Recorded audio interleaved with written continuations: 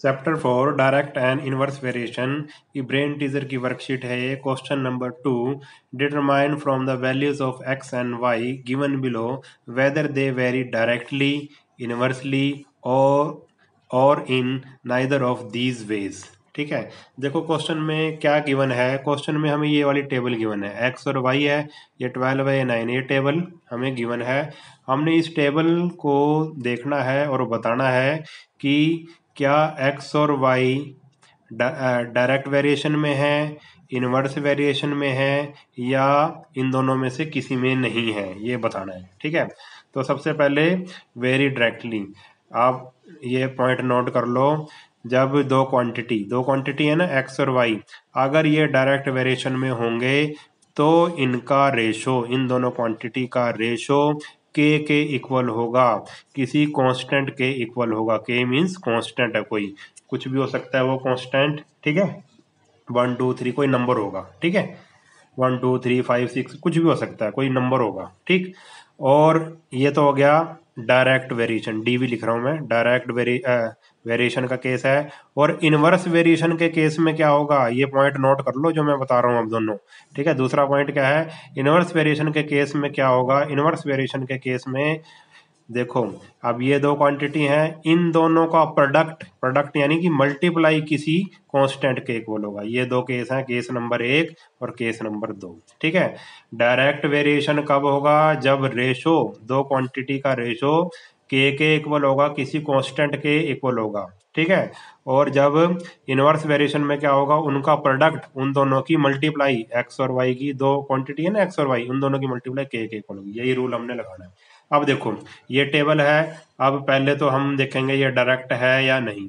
तो क्या करेंगे रेशो निकाल लेंगे ट्वेल्व को नाइन से डिवाइड कर देंगे ट्वेल्व को नाइन से डिवाइड किया ट्वेल्व बाई नाइन ठीक है? क्योंकि रेशो का मतलब ही क्या होता है डिवाइड ट्वेल्व बाई नाइन कर दिया। रेशो निकल जाएगा फोर थ्री फोर जा और थ्री थ्री जा नाइन हमारे पास क्या आ गया रेशो? रेशो आ गया हमारे पास four by three four is to three ठीक है? और इसका रेशो क्या आया? आ, अगले का देखो three by thirty six cutting कर दी इसकी भी हमारे पास आया वन बाय ट्वेल्व ठीक है? अब देखो क्या होता है भाई कांस्टेंट के इक्वल होता है। क्या रेशो इक्वल है? ये फोर बाय थ्री आ गए वन बाय ट्वेल्व नहीं भाई रेशो इक्वल नहीं है। रेशो इक्वल नहीं है तो ये तो केस अब नहीं होगा। देखो twenty twenty seven by four ये भी अलग आ गया कटिंग ही नहीं हो रही इसकी। तो सिक्स बाय एटीन ये आ गया वन बाय थ्री ये भी अलग आ गया।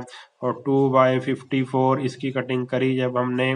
तो ये भी अलग आ गया, ठीक है? रेशो तो इक्वल होएगा ही नहीं। रेशो क्या रहना चाहिए? कांस्टेंट रहना चाहिए। यानी कि बदलना नहीं चाहिए कांस्टेंट रहने का मतलब है रेशो बदलना नहीं चाहिए। ये तो रेशो बदल रहा है। ये फोर बाय थ्री था, ये फिर वन बाय ट्वेल्व हो गया, फिर वन बाय थ्री हो गया वन बाय ट्वेंटी सेवन ठीक है? तो रेशो तो अलग तो ये केस डायरेक्ट वेरिएशन का केस नहीं है। उसके लिए ये कंडीशन होनी चाहिए, ठीक है?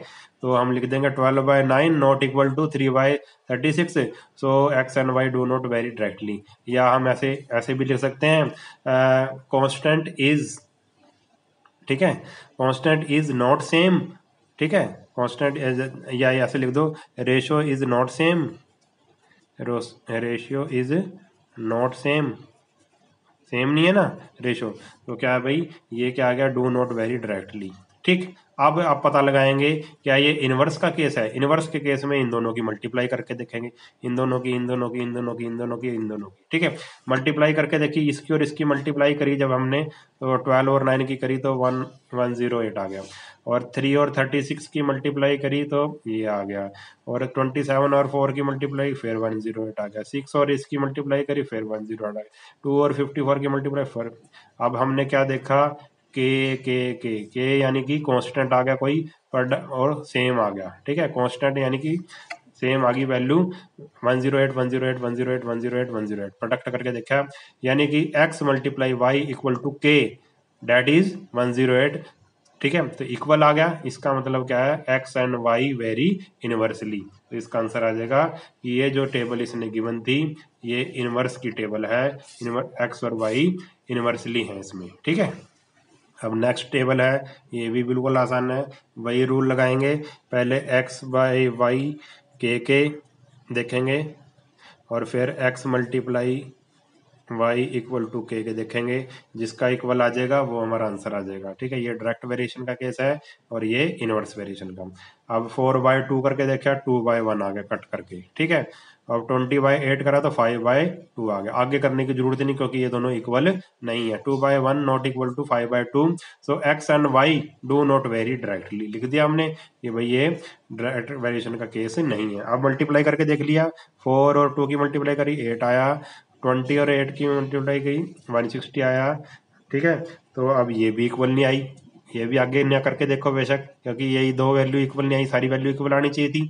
तो four multiply two not equal to twenty multiply eight तो so X and Y do not vary inversely. अब लिख दो कि भाई ये इनवर्सली भी नहीं है, ना ये डायरेक्टली है, ना ये इनवर्सली है तो हमारा आंसर क्या आ गया? एक्स एंड वाई ना इधर वेरी डायरेक्टली नॉर इनवर्सली आसान क्वेश्चन था बिल्कुल, ठीक है? रेशो निकाल के देखो प्रोडक्ट निकाल के देखो, और क्वेश्चन हमारा हो जाएगा।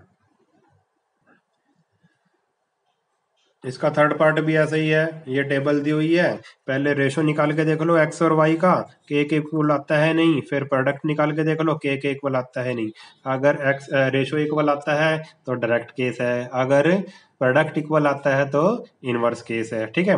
तो टू बाई टेन करा तो वन बाई फाइव आ गया। नाइन बाई फोर्टी फाइव करा तो वन बाई फाइव आ गया कट के। ठीक है? Seven by seventy five cutting करी तो सेवन वन जा सेवन सेवन फाइव जा थर्टी फाइव ये भी वन बाई फाइव फिर अगले की करी, ये भी वन बाई फाइव, ये भी वन बाई फाइव, ठीक है?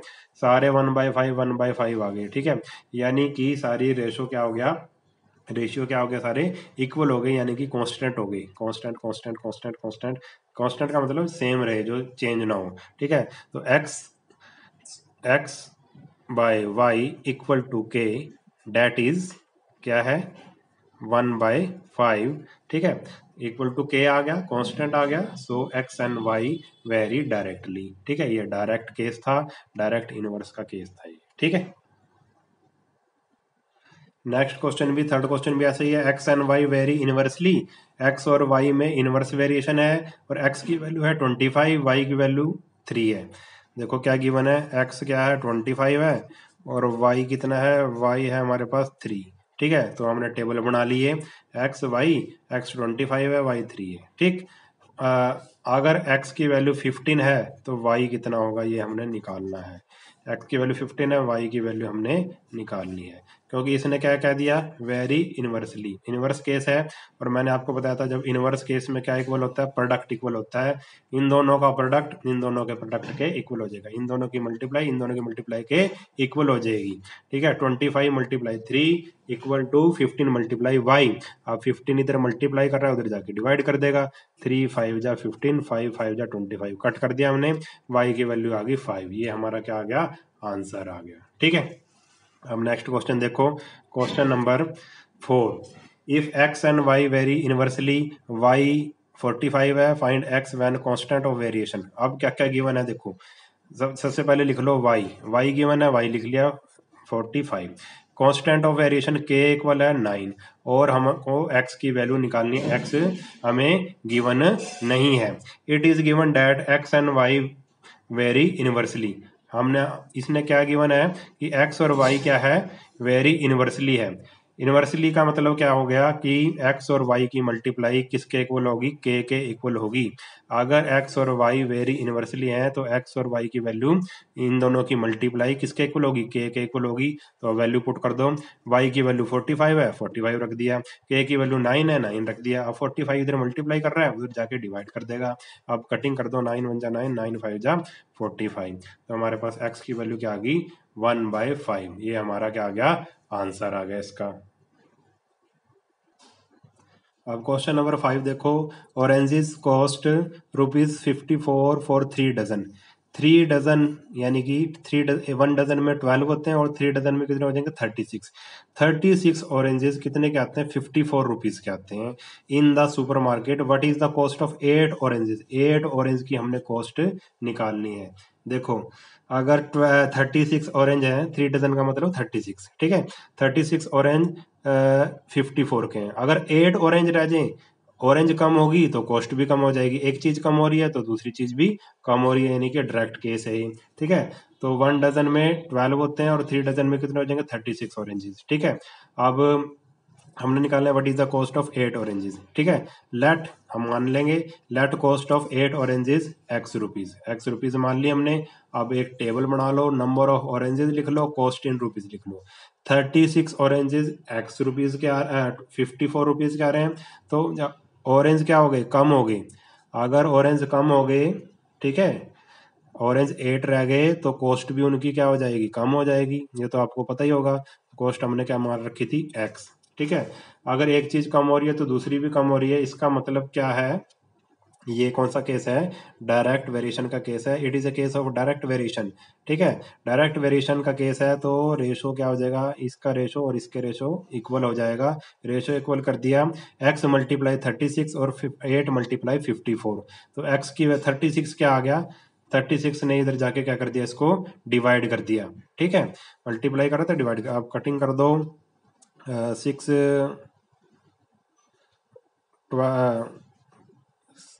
सिक्स सिक्स जा, सिक्स नाइन जा, थ्री थ्री जा नाइन, थ्री, टू जा सिक्स, और टू, फोर जा एट, फोर, थ्री जा ट्वेल्व, ठीक है? ये कटिंग कर लेना, एक्स की वैल्यू क्या आ गई? ट्वेल्व आ गई तो कॉस्ट ऑफ़ एट ऑरेंजेस हमारे पास क्या आ गया? ट्वेल्व आ गया, ठीक है? आसान क्वेश्चन था, कोई दिक्कत नहीं है, आसानी से हो जाएगा डायरेक्ट बस हमें ये पता होना चाहिए क्वेश्चन में कि ये किस चीज़ का केस है। डायरेक्ट केस है डायरेक्ट वेरिएशन है या इनवर्स वेरिएशन है? अगर हमें ये पता लग जाता है कि डायरेक्ट वेरिएशन है इनवर्स वेरिएशन है तो क्वेश्चन हमारा आसानी से हो जाता है। अगर वीडियो आपको अच्छा लगा है तो चैनल को सब्सक्राइब कर लेना और वीडियो को अपने सभी दोस्तों के साथ शेयर कर देना और कमेंट करके बताना कि आपको वीडियो कैसा लगा। इस वीडियो में इतना ही। नेक्स्ट वीडियो में मिलेंगे। तब तक के लिए नमस्कार।